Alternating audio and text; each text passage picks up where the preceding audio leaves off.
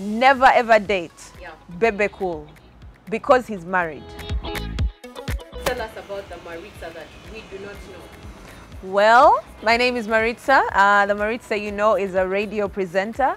The Maritza some people do not know. I, I, have done TV before. I used to host and produce a TV show. Uh, one was called Straight Up, another was called Leaving. I am a content, I'm a creative. Yeah, I'm a creative. I create content with Kwanza Uganda. I create content for my friends for fun and for free. And uh, most people know I'm a spoken word artist. So what else do you not know? I'm a fun-loving person. Yeah. Who is your celebrity crush?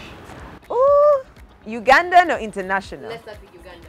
Ugandan Zex Inchikumi Bilangilangi. If he adds another name, it's going to be my last name too. It's okay. International.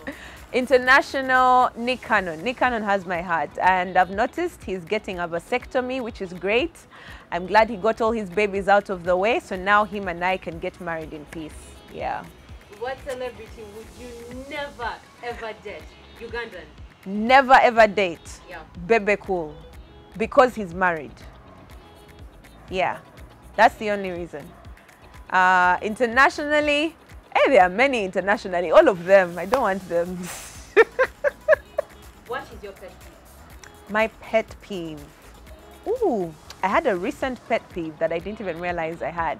I don't like people who judge others for something they're also guilty of. Yeah. So for me, it's a huge pet peeve, especially if I can see that the fingers you're pointing, three, four, five are pointing back at you. Yeah, that, that's not cool. Don't don't be judging people. DC or Marvel? Um, Hollywood. I mean Hallmark. yeah. None of the above. Hallmark, or you can add um, Telemundo, add Televisa in there. Maybe Bollywood movies as well. Yeah, that's that's where it's at. Poetry or radio? Poetry. Which is your greatest love? Poetry. poetry is my greatest love. I can never pick radio over poetry. But interestingly enough, I'll probably be doing radio longer than I'll be doing poetry. When was the last time you ever received transport money?